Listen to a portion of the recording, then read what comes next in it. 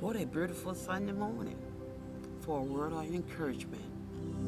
2 Timothy, the fourth chapter, verse 18. And the Lord shall deliver me from every evil works and will preserve me unto his heavenly kingdom, to whom be the glory forever and forever. Amen. The Lord shall preserve thee from evil, he shall preserve thy soul.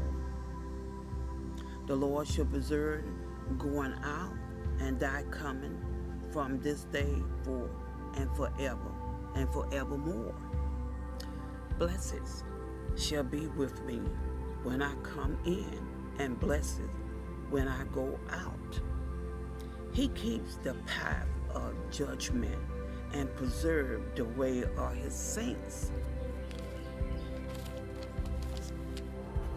In all thy ways acknowledge him, and he shall direct thy path. God will make the path straight before you. Word or encouragement. What a beautiful Sunday morning.